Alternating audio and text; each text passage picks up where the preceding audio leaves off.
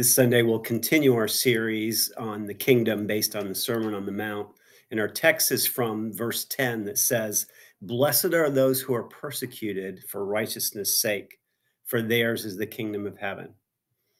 Now, I want you to be honest when you hear her about being persecuted. How many of you say, Yippee, sign me up? Probably not our response, and, and perhaps rightfully so.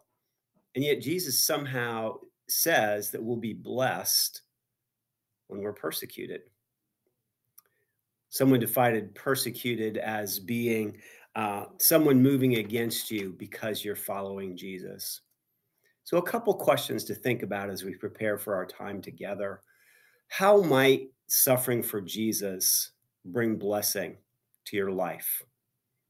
And how does Jesus want us to respond to that suffering? See you Sunday.